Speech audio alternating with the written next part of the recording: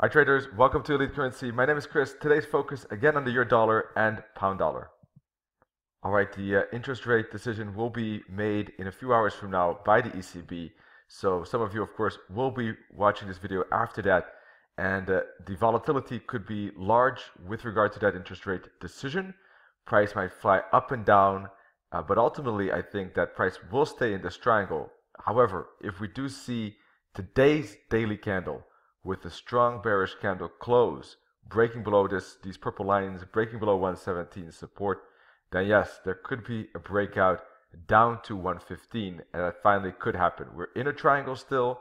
Yes, we had a bounce at 117. That doesn't mean that the bulls will necessarily win, although my vision is still bullish on euro dollar up to 119, 120.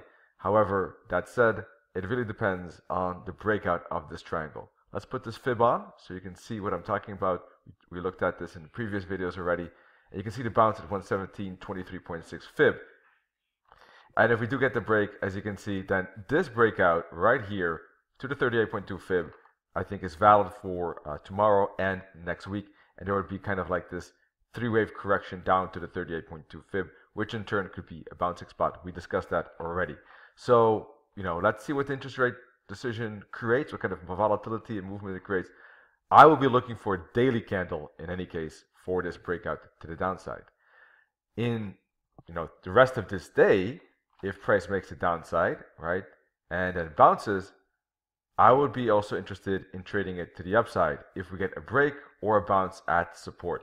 So if today's candle, for instance, has a wick here at the bottom and but ends up bullish like this, then I think tom- tomorrow there's a good chance and next week of a continuation to the upside if we get some some bullish candle with a big wick at the bottom. Uh, if we get a bullish breakout candle, of course, today or tomorrow, then retracement and continuation, I think, is likely. In that case, I'll put the fib from here to here, and I'll be looking for targets at the minus 272 target at 119, 119.30 slash 120, which is the minus 61.8 target, or even up to the double top and minus 100 target at 120, 80-ish. All of these levels could be turning spots back down, although I think this one and this one, the higher ones, are more likely spots for a bearish bounce. Let's zoom in to the four hour chart and discuss what could be happening in the next few hours before the rate hike and after.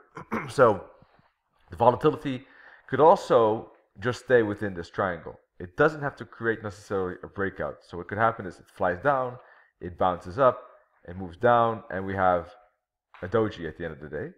In that case, I'm slightly favored towards a breakout to the upside, but of course the break would have to happen tomorrow or next week. Uh, the other option is that price makes some volatility here, makes a bull flag, uh, maybe on a one-hour chart that could be probably more easy, easier to see, for instance, like this, and it would break out later today or beginning tomorrow, for instance, right? That's another option. Something like that, a, flag to the upside would be interesting. At the moment, it is moving down. I don't expect that to go too far with only you know a few hours to go before that rate hike. I think price will kind of build a pattern here probably before that rate hike, and um, it could break both ways. And that breakout, I don't think is necessarily interesting.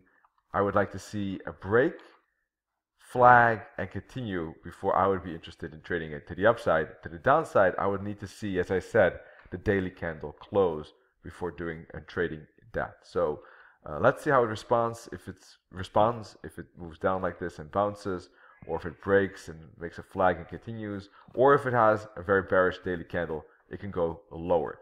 So this is my my thoughts uh, before the interest rate, but at least you have also some idea. excuse me, uh, how I will look at the charts when uh, when the interest rate is finished, and uh, how price might be responding and how I will you know adapt to those uh, movements.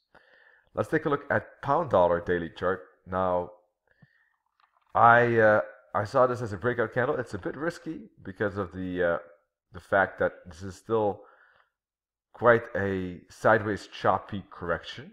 All right, so that's something to note. But this retracement could be a bouncing spot for more upside, and uh, if today's candle does not close bullish or closes bearish, then I would be cautious of this pound dollar and it might not be you know that great of a of a continuation, although it still could if it's something like small candle like this. So for the moment, I think this is still a break, pullback, continue. Um, but once again, it is quite a choppy zone. There was strong support and it did bounce at that support. If it does continue higher, I think 134 is the target, 133, 134, 135. Now, looking at lower time frames, all right, we see how price bounced off support. As you can see here, daily and four hour support. Uh, but this four hour candle is a bit warning, is a bit of a warning sign that the, the you know the momentum could be more than uh, than expected. So if there is a bear flag here, then this is something to be cautious of, and I might be careful with the, the upside. And I think that there could be more downside to come like this to retest the support level at a deeper spot. We can put a fib from here to here. All right. And uh, the 50 fib could be a bouncing spot, for instance, like this. But if there is, if there is a bear flag, once again, then that could indicate more downside.